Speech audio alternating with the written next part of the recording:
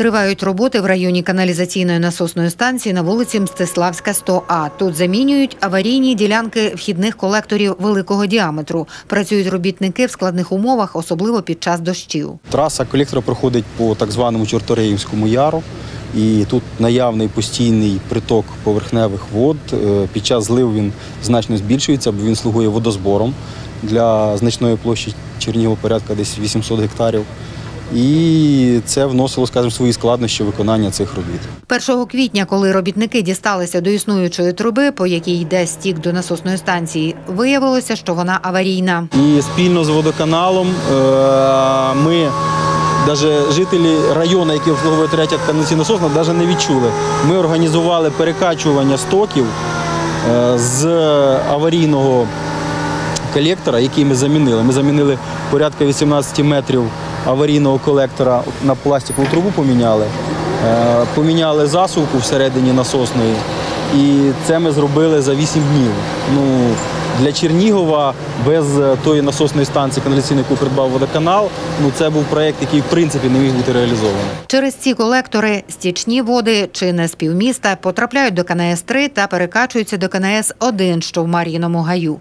Два колектори фактично аварійні. Один зроблений в 50-ті роки, інший в 70-ті. Їхня пропускна здатність для сучасного Чернігова недостатня, тому труби замінюють на більший діаметр. Загальна вартість всіх робіт е, 42 мільйони і приблизна ця вартість по заміні е, фекальної каналізації 400 металевої на 800 пластику приблизно 12 мільйонів гривень.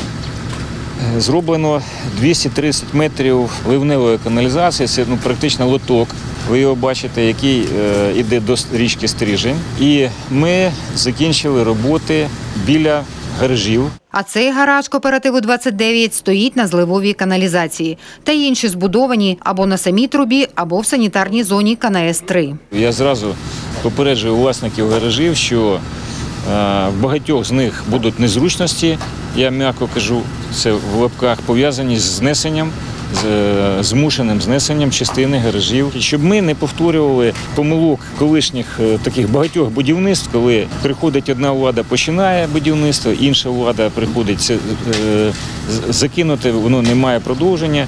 Є сенс в цих капіталовкладеннях в частині лівнеприйомника, лотка лівнеприйомника, тільки якщо ми ж повинні вирішити проблему підтоплення декабристів.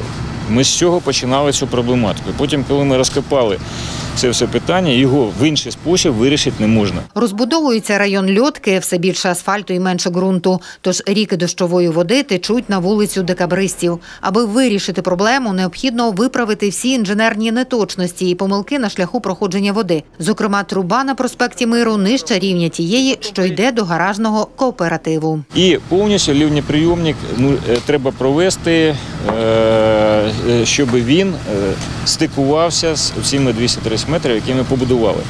В такий спосіб буде вирішено питання комплексно зняття проблеми підтоплення декабристів і е, далі за рахунок регулювання е, рівня стрижня е, е, нашими гідроспорудами ми можемо планувати, ну скажімо, в різні періоди часу, це весняне таяння снігу,